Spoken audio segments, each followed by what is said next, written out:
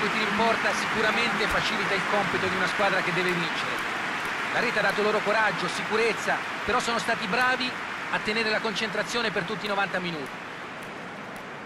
Ci resta solo il tempo per ringraziare i telespettatori che sono stati con noi. Ringrazio Luca Marchegiani per avermi accompagnato. Grazie Fabio, alla prossima!